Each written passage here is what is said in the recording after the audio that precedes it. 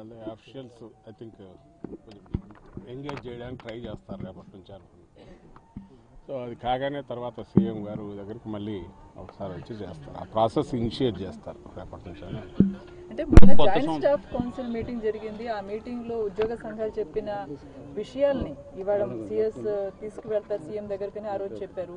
CM గారే తుది నిర్ణయం తీసుకుంటామని. అంటే మూడు వారాలుగా జరుగుతుంది కసరత్తు. ఇంకా అంటే ఒక్కటి కాదు ఇప్పుడు పర్సంటేజ్ అనేది ఒక ఆస్పెక్టే దాని ఇంపాక్టు లేదా దానివల్ల ఎంప్లాయీస్ ఎంత బెనిఫిట్ అవుతారు అనుకున్నంత అవుతారా కాదా ఎక్కడెక్కడ ఏమవుతుంది ఇవన్నీ చూసుకొని చేయడం అనేది ఎక్సర్సైజ్ నడుస్తుంది.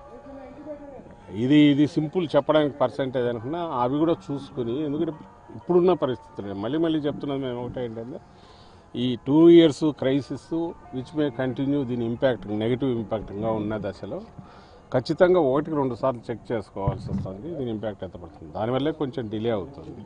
ఇలాంటిది లేకపోతే ఎప్పుడో పర్సంటేజ్ అనౌన్స్ చేశారు. పర్సంటేజ్ అనౌన్స్ అనౌన్స్ చేయడం అనేది ఇష్యూ కంటే కూడా ఆల్రెడీ చెప్పిన పర్సంటేజ్ ఏదైతే ఉందో ఆ రోజు అదేం ఊరికే ఊరికే చెప్పింది కాదు. బట్ సౌండ్ వర్కింగ్స్ చేసి చెప్పిందే కాబట్టి.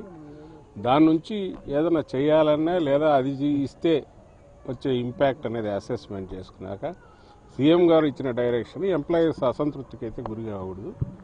ఉన్నంతలో ఎంతో కొంత బెటర్ ఇచ్చేయాలి కాబట్టి మళ్ళీ ట్రై చేయండి మళ్ళీ ఎక్సర్సైజ్ చేస్తూ వస్తున్నాను సహజంగానే ఫైనాన్స్ డిపార్ట్మెంట్ ఓవరాల్ ఫైనాన్సెస్ చూడాలి కాబట్టి ఉన్న సిచ్యువేషన్ అది. ప్రొఫెషనల్ దీనిగా వాళ్ళు చెప్పేది చెప్తుంటారు. సీఎం గారు తీసుకునే డెసిషన్లో తీసుకునేది అంటే అయితే రెండింటి మధ్య పెద్ద తేడా ఉండే అవకాశం అయితే నాకు కనిపించట్లేదు. బట్ బెటర్ ఇది ఇవ్వడానికి అయితే ట్రై చేస్తున్నాను. చాలా చాలా సార్లు ఆ రోజు చెప్పింది జాయింట్ స్టాఫ్ కౌన్సిల్ సందర్భంగా.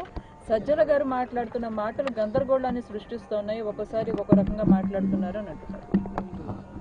అన్నిట్లో ఒకటే ఉంది. క్రైసిస్ ఉంది వాస్తవం. పరిస్థితి బాగాలేదు వాస్తవం. అయినప్పటికీ ఎంప్లాయీస్ని వీలైనంత వరకు సాటిస్ఫై చేయాలి ముఖ్యమంత్రి గారు అనుకుంటున్నారు అది వాస్తవం. ఈ మూడు బ్యాలెన్స్ చేయడం అట్లనేది ట్రై చేస్తున్నారు. ఇందులో ఎగ్జాక్ట్లీ ఇదైతే ఇప్పుడు డెసిషన్ అయిపోయేది కదా. నిజంగా తర్జన భర్జనలో అవసరమే ఉంది. ఏదో ఒకటి దాన్ని ఏమంటారు ఇర్రెస్పాన్సిబుల్గానో లేదా ఫ్యూచర్ ఎట్టుంటే ఏముందని పొలిటికల్గానే ఆలోచించి చేస్తే చేసేయచ్చు. లేదు అట్లా కాకుండా ఒక ఫైనాన్స్ ఆస్పెక్ట్లోనే చూసి చేసినా చేసేసిండొచ్చు బ్యాలెన్స్ చేయాలని ట్రై చేయడం బట్టి కొంత టైం పడుతుంది. ఎప్పటి వరకు కొనుక్కొచ్చే అవకాశం? ఎన్ని రోజులు పట్టచ్చు? బహుశా రెండు మూడు రోజుల్లో వాళ్ళు కూర్చొని డిస్కస్ చేస్తే ఒక కొలిక్కి రావచ్చని అనుకుంటున్నాను. ఇటువైపు నుంచి ఆ, పుట్టినరోజు సందర్భంగా కానుక వస్తుందని ఎక్స్పెక్ట్ చేశారు. కొత్త కొత్త ఏడాది కానుక కూడా వచ్చేట్టు కనిపిస్తున్నట్టు. వచ్చేస్తుంది వచ్చేస్తుంది. ఈ ఈ దురదృష్టకరమైన పరిస్థితి ఇప్పుడు ఉన్నది అది లేకపోతే ఎప్పుడో వచ్చేది దానివల్ల కొంచెం డిలే అవుతుంది బట్ ప్లైస్ కూడా ఓపికగానే వాళ్ళు వెయిట్ చేస్తున్నారు కాబట్టి ఈలోగానే పూర్తి చేయడానికి ట్రై చేస్తున్నారు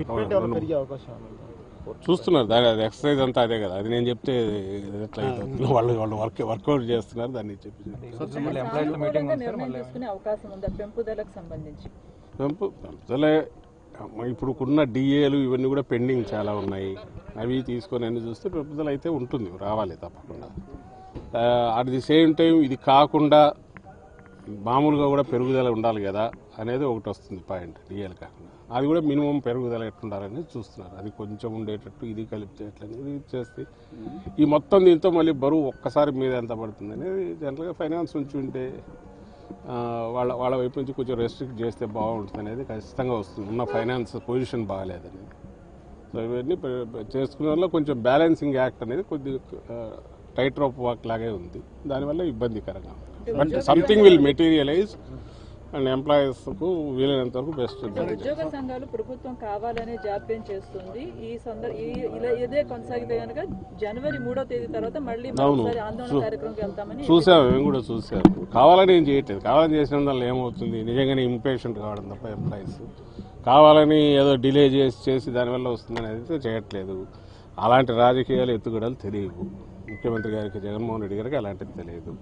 వాళ్ళకే ఇచ్చారు ఫైనాన్స్ వాళ్ళకి. వాళ్ళు వర్కౌట్ చేసి దే కేమో విత్ సమ్ అది సరిగా కాదు కొంచెం వర్కౌట్ చేయమన్నారు. దానివల్ల అవుతుంది.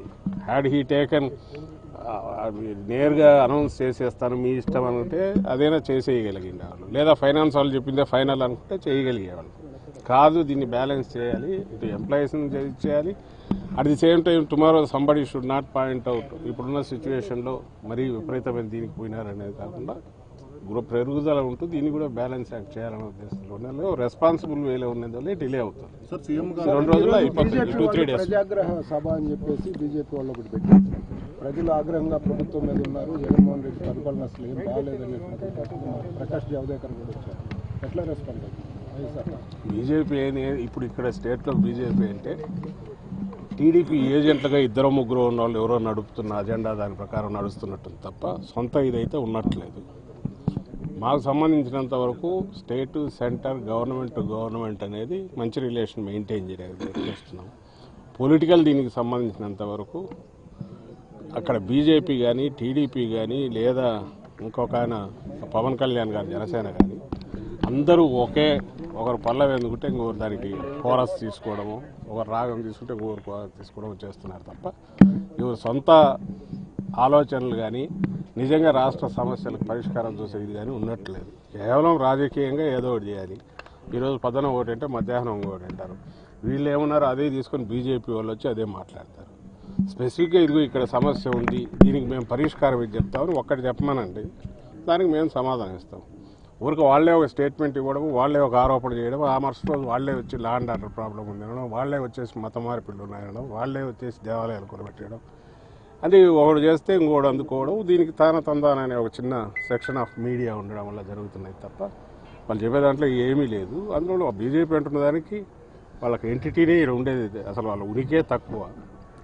వాళ్ళు అనాలి కాబట్టి టు సపోర్ట్ టీడీపీ ఇండైరెక్ట్ చేస్తున్నది తప్ప దానికి ఏ వాల్యూ ఉందని మేము అనుకోవట్లేదు అంటే బీజేపీ సభ నిర్వహించడానికి టీడీపీ టీడీపీలో ఎవరైతే మళ్ళీ బీజేపీలో ఇప్పుడు యాక్టివ్గా ఉన్నారు ఆ ఎంపీలు. వాళ్ళే కీ రోల్ ప్లే చేస్తున్నారో అందరికీ తెలుసు. ఇక్కడ నుంచి పోయిన వాళ్ళు అక్కడ చేస్తున్నారు. ఈయన ఈయన వెనక ఉండి దాంట్లోకి తన మనుషులను పంపించి అక్కడ నుంచి ఆపరేట్ చేయిస్తున్నాడు చంద్రబాబు నాయుడు గారు. అలాగే చ- జనసేనలో తన మనుషులు పెట్టి అక్కడ ఆపరేట్ చేయించగలరు దా వస్తున్నవి చూసినా మీకు అదే కనిపిస్తుంది. ఈరోజు ఉదయం టీడీపీ ఒకటంటే మధ్యాహ్నం వాళ్ళు అదే అందుకుంటున్నారు. సొంత ఆలోచన కానీ సొంతంగా ఏదైనా స్టేట్ కోసం మేము చెప్తామనేది కానీ ఏదీ లేదు. లేదా బీజేపీ మహా అనేది అంటే మతం తప్ప ఇంకోటి తీసుకోదు. ఆ పాయింట్ తీసుకొచ్చి దాని మీద ఏదో మాట్లాడాలనిపిస్తుంది. దానికి కూడా అలా ఎలాంటి సాక్ష్యం కానీ ఆధారం కానీ లేకుండా ఫలానా ఇదని లేకుండా వాళ్ళే ఏదో ఒకటి వేస్తారు. వేసేసి ఒక ఆరోపణ చేసేస్తారు. అది తుడుచుకోమని చెప్తారు. ఆ టీం అంతా మొత్తం కలిసికట్టుగానే నడుస్తున్నారు. చూడడానికి వేరువేరుగా ఉన్నా కూడా కలిసికట్టుగానే చేస్తున్నారు ఆలోచన.